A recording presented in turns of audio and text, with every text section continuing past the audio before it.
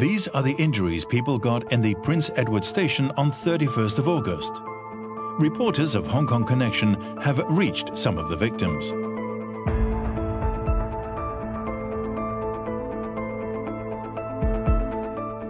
These are photos we collected on the internet in mid-August.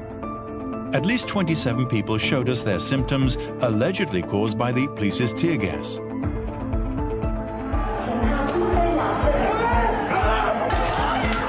The anti-extradition bill protests have been going on for months. Facing the accusation of using excessive force, the police stress that the force they have been using is appropriate. But is there a boundary to that appropriateness?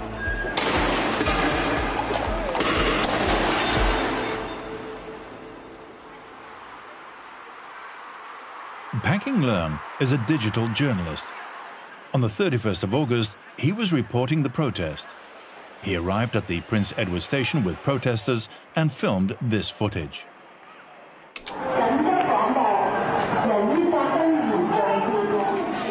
佢哋係攞住一支四十毫米大口徑嘅海綿彈槍，近距離兩米內指住啲市民，佢係冇做任何警告，唔理三七廿一，總之你望到你開遮就打啦。咁有啲人就係望到你後生啲嘅 就拘捕你啦。总之你行嘅时候就唔俾你走啦。 The police have repeatedly denied beating civilians. They claimed that they used professional judgment to tackle delinquents. But they once admitted that it was difficult to identify people's identity amid chaos. 喺呢个混乱嘅情况底下咧，的确系好难咧辨认咧究竟一个系真嘅记者啊，系一个示威者啊，定系一个暴力嘅人士嘅。 Hong Kong Connection has reached one of the injured persons in the MTR. We will call him Awa. After joining the assembly in Hong Kong Island that day, he took the Kwun Tong Line Tiu Keng Leng bound train and came across a conflict between some protesters and some passengers. The train stopped at the Prince Edward Station, and the MTR issued an emergency alarm. Amid chaos, he got onto the Tsuen Wan Line central-bound train on the opposite platform. Soon after, he was beaten and injured by the police. 好多人係流血受傷，包括我自己都係咁樣，冇留手出全力打落去嘅，係企喺佢哋前面嗰啲係全部硬食晒啦。我好驚啊！即係就算到而家隔咗幾日啦，我仲好記得嗰陣時候喺車廂裏面啲人係點樣嗌。尖叫啦，成地都係血啦。 Peter, another 31st August victim we have reached, said the police beat people indiscriminately that day. 當時我坐咗喺度，咁結果佢哋就一棍搏落嚟我頭度，搏咗我幾棍，咁我就跑翻去人堆，後期先知道原來流咗好多血，我都唔知點解佢會打我，因為第一我又唔係啲示威者咁着黑色衫， 第二我口罩都冇戴，第三我都冇佢哋所谓嘅 gear 喺度，结果佢哋就不问情由就搏咗落嚟啦。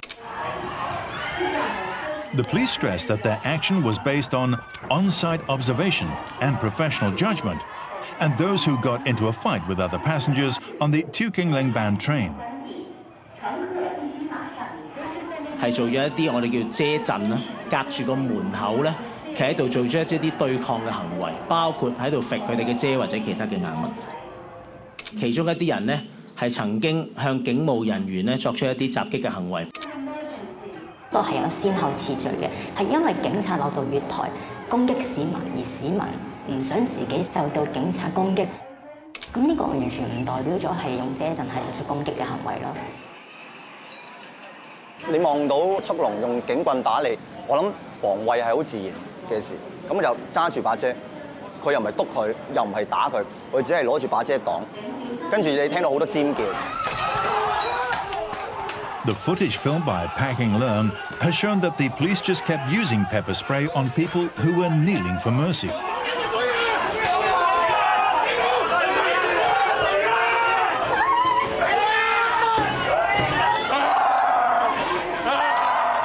睇條片，其實佢哋冇攞遮冇剩咁樣樣，佢哋後面再縮埋兩個，一個男仔，即係再有個一個男一女縮埋喺後面啦。佢哋嘅防衛就係、後面個女仔就係得一件衫擋住。 除咗兩位頭先你提及嘅人士以外咧，其實佢身邊係仲有其他人嘅。咁而我哋嘅同事喺個車廂，其實一直 有其他人咧係一個對抗嘅情況。面對嗰個威脅咧，所以佢採用咗一啲適當嘅武力去處理當陣時嘅情況。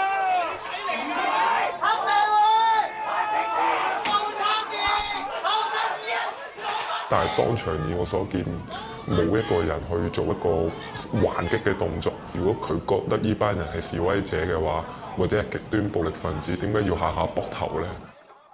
咁但系佢哋成日都话克制嘅武力，咁其实佢哋系可以打手啊、打脚啊，甚至去两三个人去围捕，但系佢哋冇咁做，纯粹系一个宣泄发泄。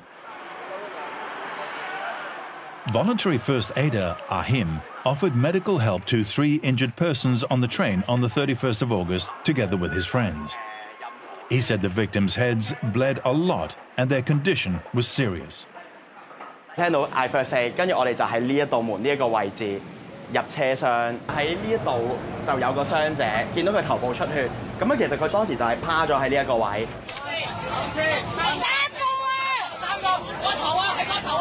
三個傷者個頭都止唔到血，我講緊我用咗十分鐘都止唔到血，唯有就係隔住啲敷料就再冚紙巾又好，其他吸血冚 M 巾又好，誒冚毛巾都好，我都都一定要冚落去咯。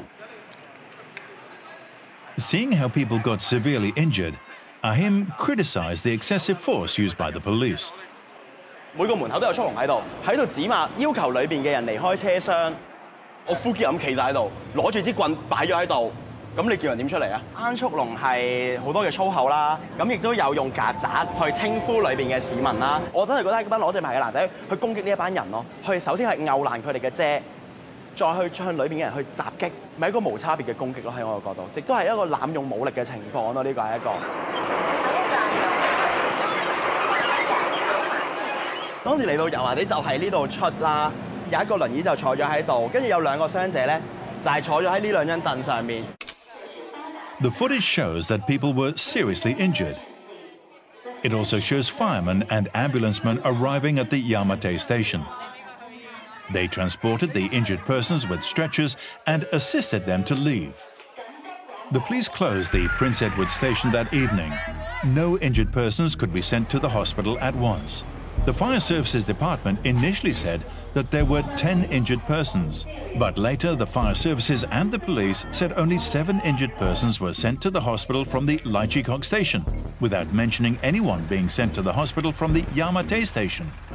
In the end, Hong Kong Connection found out that three injured persons were sent to Kwong Wah Hospital from the Yau Ma Tei station, confirming that there were actually more than seven people admitted to the hospitals as the officials had claimed.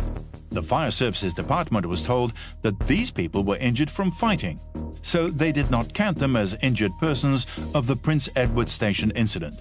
Our journalists went to a few hospitals and reached the injured persons of the Prince Edward Station incident on the 31st of August, including three of them who were sent to Kwong Wah Hospital from the Yau Ma Tei Station after being injured from the police's beating. They were arrested for alleged unlawful assembly in the hospital.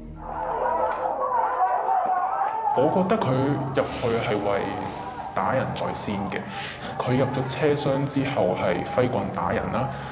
但係佢打完人之後係出翻去嘅。佢當時係冇做拘捕行動嘅。喺衝咗入車廂之後，就有幾個警察跟到去醫院，然後就喺急症室拘捕我嘅。我係一直俾人扣住嘅，會限制我人身自由啦。警察會揸住啲好長條形嘅鏈啦，然後係連住個手扣嘅。Legal professionals questioned the police's assaulting, arresting, and then making up charges that the police could have violated the principle of first investigating a possible crime before arresting with force.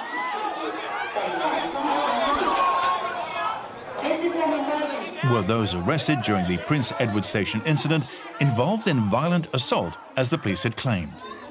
Hong Kong Connection asked the police what charges were made to these 63 arrested people. The police replied that 54 were involved in unlawful assembly, the other nine possession of explosive or offensive weapons. All the injured persons we managed to get in touch with have been arrested. They were unable to reveal too many concrete details or be interviewed. 一個好大嘅原因啦，誒、令我走出嚟，究竟係消防處嘅錯誤啊？話有十個傷者，但係最尾得七個受傷嘅位置，我哋唔係喺月台，咁究竟當埋我哋係啊，定還是其實月台真係有十個傷者受傷，有三個係失蹤咗呢？我係一個市民，當時我坐上去列車，唔係着黑衫，亦都冇戴口罩，都要俾速龍去打。 年輕喺呢個世代係咪究竟就係一種罪呢？當刻八三一誒冇差別打人嘅警察，究竟入面打嘅係咩人呢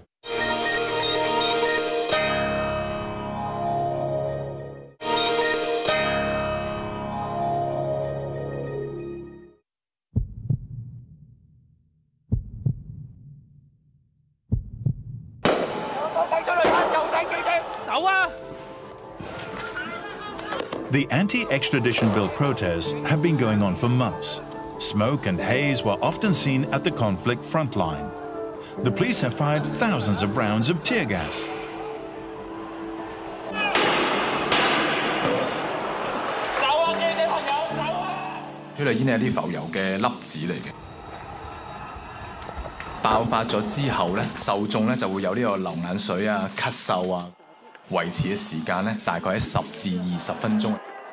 係唔會有一個長遠嘅誒對身體有害嘅效果。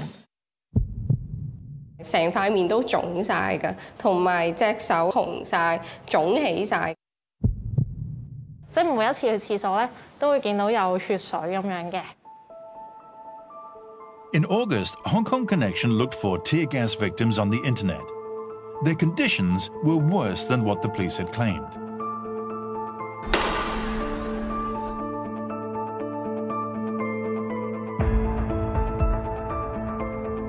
total of 45 people contacted us. 27 of them were willing to be interviewed and filmed. 17 of them were suffering from swollen and inflammatory skin conditions, which were the most common symptoms. 好大範圍咁樣出疹，成隻手臂咁樣，係非常之痕癢咯。This protester, a Sham Shui Po resident, got tear gassed on the 5th of August She was only wearing a t-shirt and short pants. 当时其实因为觉得冇灼痛咧，净系洗咗块面就未有冲到只手，医生就话呢个好大可能系一个刺激性嘅皮肤炎。 Symptoms of skin inflammation caused by tear gas usually last for a few days up to around a week. However, as conflicts continue, protesters who tried to put out tear gas canisters up close by hand have started to suffer from chemical burns. 三烂香水泡都爆晒，佢就结咗焦㗎啦。有一笪咧，唔知点解零零舍舍系直情成块皮冇咗嘅，见肉咁样咧就俾空气掂到都痛。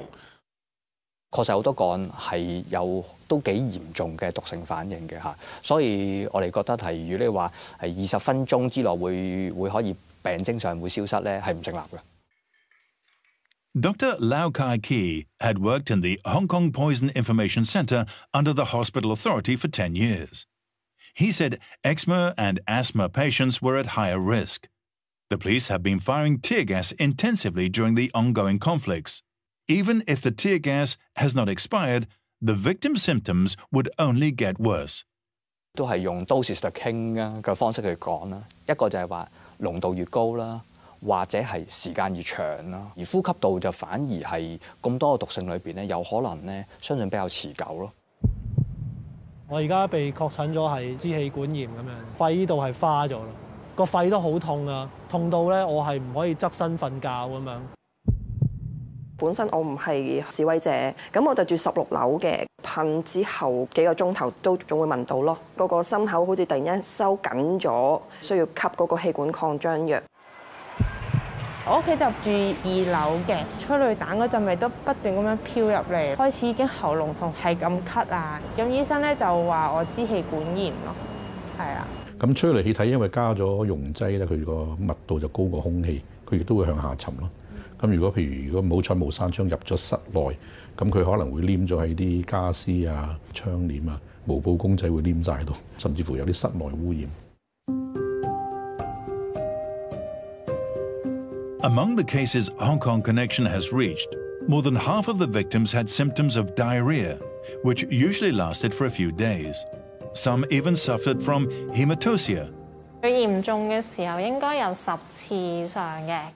The doctor believed that she had swallowed saliva and nasal mucus containing tear gas particulates. The chemicals had damaged her intestines.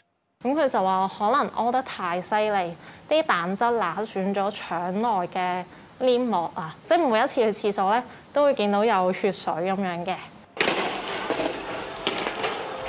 The effects of tear gas on public health have rarely been studied around the world. To tackle the citywide anti extradition bill protests, tear gas has been fired in densely populated neighborhoods. But does the dispersion of smoke mean things will be okay? On 25th of August, the police fired many rounds of tear gas near Yeung Uk Road Market in Tsuen Wan. In order to find out whether the chemical agents of tear gas would remain in the neighborhood,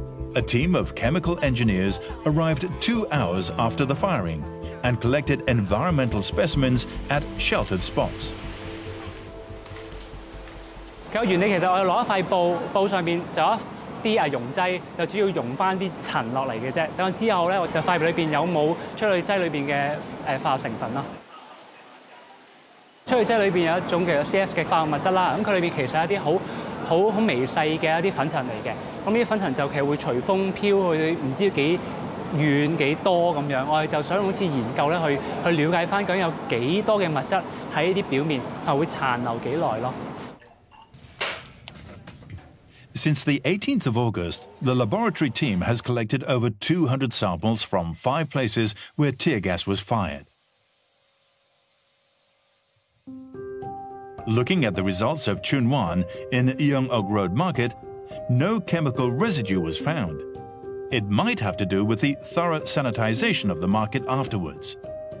In the Tsuen Wan Park tunnel, over 200 meters from the market, chemical residue was found even two days after tear gas was fired. It proves that with the help of wind, CS gas does spread considerable distance. Residents living above the 20th floor said they also smelt the tear gas. 打几个乞嗤之后就开始流鼻水啦，同埋其实好清楚系闻到阵味㗎，系啦，好清楚好清楚嘅味。户外帮佢攞一个样本，跟住喺室内帮佢攞一个样本。 Among the samples first collected on the day when tear gas was fired, the one from the balcony contained a bit of chemical residue. It could not be found again a day after stormy weather. 有一個露台個濃度比較低，所以我覺得可以靠到比較自然嘅方法，即係譬如係陽光、風或者係雨水去去洗走啦。降解到嘅咧，其實真係我哋人手去清潔啦。但係相反係一啲比較空氣唔流通、遮到雨嘅地方，即係譬如有啲排檔啊、樓梯底啊，呢啲會持續一段長時間會有高濃度嘅。 The team has also made some surprising discoveries in Hong Kong Island. Outside a sheltered fast food restaurant in Admiralty, Citic Tower, and around the dried seafood street area in Sheung Wan, high contents of chemical residue were found. In Sheung Wan, some samples were collected on the 18th of August, 21 days after tear gas was last fired in the district. And that was the longest remaining time among all the samples. In Sham Shui Po, where tear gas had been used time and time again, samples were collected by the team on the 15th of August, 14 days after tear gas was last fired. Chemical residue was still found in the samples collected at the entrance of this building, where an elderly home was situated, and even from an outdoor hawker stall.